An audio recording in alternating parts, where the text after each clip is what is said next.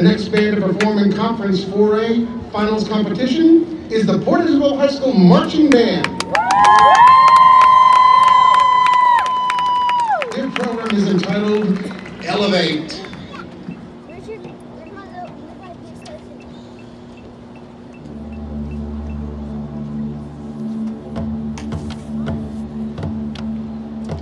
Drum majors J.P. Gonzalez and Catherine Garcia. You may begin your performance for the finals. Area E Marching Band Contest.